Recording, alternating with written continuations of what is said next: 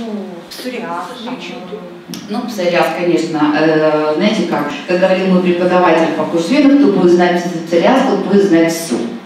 Но 80% пациентов, когда мы наводим порядок в организме, это касается нейродермитов, атопических дерматитов, да, 85, даже 90%. Когда мы наводим порядок в организме, что такое порядок в организме? Вот мы люди не стерильные существа. Какие-то патогены.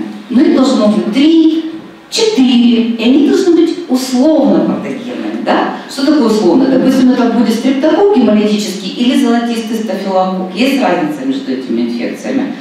Первый проживет, а второй будем убирать. Но это так я вот просто, чтобы наглядно рассказать вам.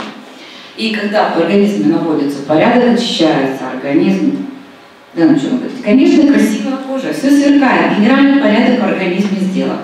Только 5% имеет такие вот сложные генетические наследственные, и то, если поработать с нашей папочкой наследственность, то там можно добиться порядка в этом отношении.